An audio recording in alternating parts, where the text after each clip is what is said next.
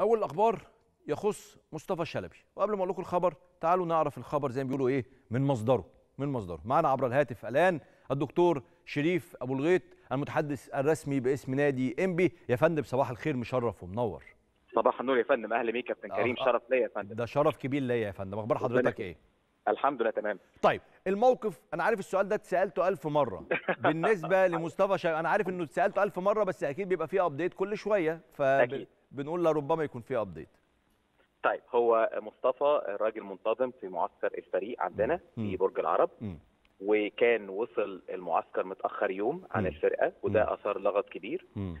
وكان حاطط على الإنستجرام بتاعه برضو ستوري كده ما كانتش مفهومة قوي. فبرضه ده آثار لغط أكبر مم. ولكن اللي, اللي اللي أقدر أقول لحضرتك عليه إن هو ملتزم تماما في المعسكر هاي. بيتدرب هاي وممكن ياخد جزء من الماتش بكرة إن شاء الله اللي هنلعبه مع جمهورية شبين في ماتش الودي إن شاء الله. ممتاز. يعني هو مكمل مع إنبي.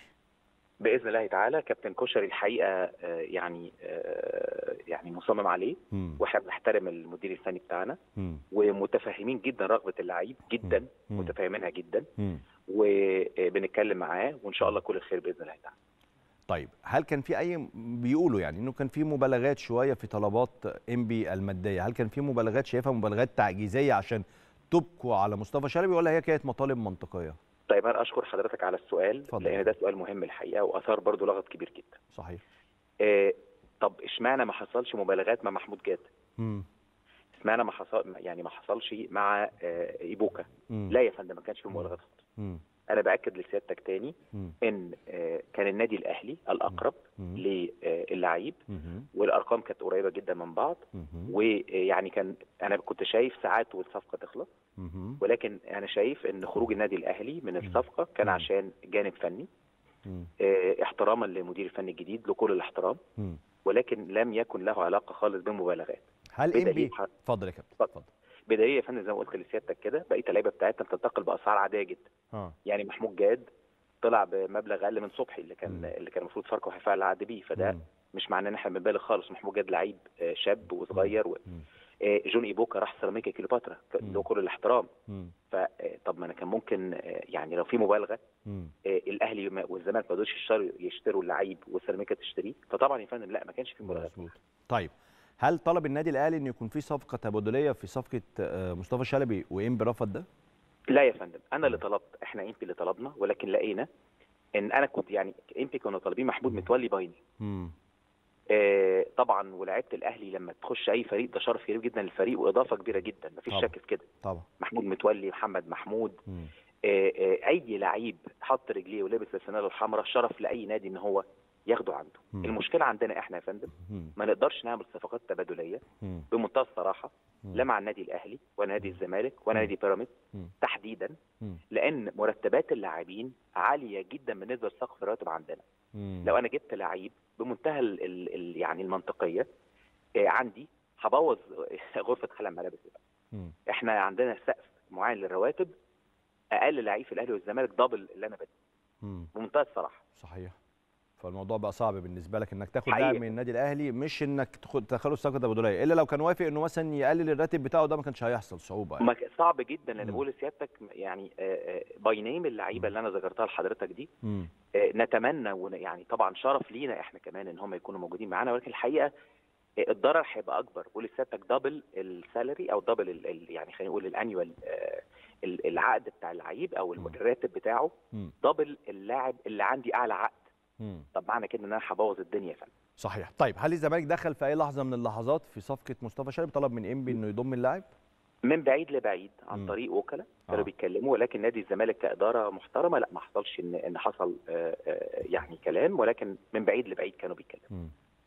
طيب سؤالي دلوقتي يخص إنبي بشكل عام يا دكتور شريف إنبي. معتادين عليه في الكرة المصرية إنه من الفرق اللي ينفع يتقال عليها بين قوسين فريق كبير. فريق دايما ينافس على بطولات في وقت من الأوقات. فريق يصارع الأهلي والزمالك في مناطق متقدمة في الدوري. مبارياته مع الأهلي والزمالك والفرق الكبيرة هي مباريات صعبة وبصراحة شديدة. إحنا بنتكلم في سنتين أو ثلاثة إنبي بعيد عن التاريخ العظيم دوت آه، كخلفية أو كمستوى كان بيقدمه إنبي في الدوري. هل نتوقع إنه إنبي ممكن الموسم اللي جاي يرجع إنبي بتاع زمان إنبي البدايات في الدوري المصري؟ طب خليني أشكرك يا كابتن كريم لأن ده معناه إن حضرتك محب النادي إمبي. طبعا. يعني اللي حضرتك بتحكيه ده شرف كبير لينا. طبعا. فعلا أنا بأكد كلام سيادتك إحنا بقالنا موسمين ثلاثة مش إحنا. مم. يمكن الكلام ده عشان برضو أتكلم بمنتهى الصراحة ارتفاع الشديد جدا في الميزانيات بتاعة الفرق. مم. عندنا طبعا شركة محترمة بتصرف علينا المهندس محمد عبد العزيز آه، رئيس وزارة الشركة آه، آه، ووزارة البترول. ما حدش الحقيقة بيبخل علينا بأي شيء ولكن إحنا عندنا مشروعات قومية فبالتالي ما بقاش في ال- الصرف القديم اللي كان بيحصل يا فندم على النادي امبي طبعا ده أثر آه، بالسلب أكيد ولكن أنا عندي آه، آه، قطعة ماس كده اسمها قطاع الناشئين.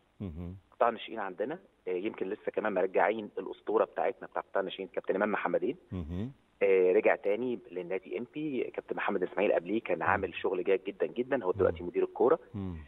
هتشوف السنة دي يا فندم مجموعة من اللاعبين كمان. طعمنا الفرقة باللعيبة. إحنا عندنا ميزة يا فندم بفضل الله وحده بنشوف الدرجة الأولى كويس. صح. في لعيبة هتشوفها سيادتك السنة الجاية. النهارده حتى لعبت أول مباراة ليها. مم. لا كابتن أحمد عبد المنعم لسه كان متكلم معايا. الفرقة الحقيقة آه، هو مبسوط بشوية لعيبة يعني تم آه، إحضارها من الدرجة الأولى. لا لا تقل ابدا إن لم تزيد على اللعيبة الكبار اللي عندنا في في الدوري بتاعنا. طيب. آه، كمان تم انتداب بعض اللعيبة. حضرتك هتشوفهم بإذن الله على مستوى عالي أتوقع بإذن الله موسم هيبقى صعب لكل الفرق ولكن امبي إن شاء الله يكون في الموعد بإذن الله تعالى. كابتن إمام محمدين عودته لنادي انبي أنا أعتقد هي مكسب كبير زي ما حضرتك اتكلمت. وخلاني اسال سؤال النهارده وأنا بتابع الخبر هو كان ليه مشي من انبي انبي دائما كان مشهور جدا بقطاع ناشئين قوي جدا يصدر لكل الأندية في مصر ويصدر للمنتخبات الوطنية. والكابتن إمام بصراحة كان له دور في هذا الأمر. مشيان ورحيل وعودة مرة أخرى. انبي خسر في غياب الكابتن إمام؟ طيب كابتن إمام بنى بنى كتير آه وعلم كتير وربى كتير فبالتالي آه، لما خرج مم. هو كان حقه يخرج لأن كان المقابل المادي آه، صعب رفضه. وإحنا اتكلمنا معاه آه، إنما كان المقابل اللي جاله كان الحقيقة برضه كان الراجل عايز يجرب وادانا كتير مم. فإحنا سيبناه يجرب مم.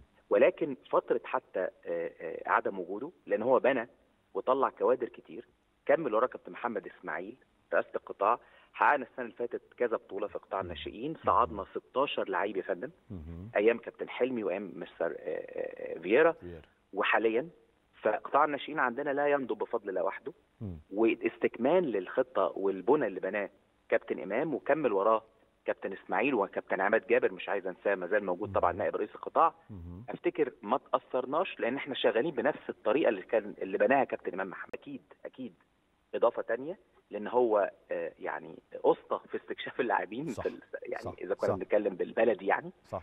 وعينيه آه، بسم الله ما شاء الله آه، ثاقبة يعني في اختيار اللاعبين. له تاريخ كبير في الموضوع ده.